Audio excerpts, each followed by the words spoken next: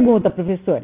Em regiões quentes, dá para cultivar o cogumelo na central de ar? Não pago energia, tenho a minha energia própria.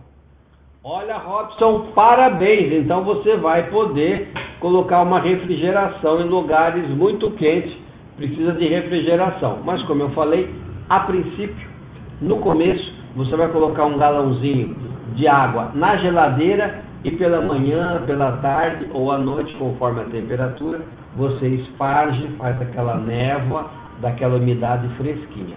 Isso já vai ajudar bastante no começo, mas depois vai ter que pôr refrigeração sim.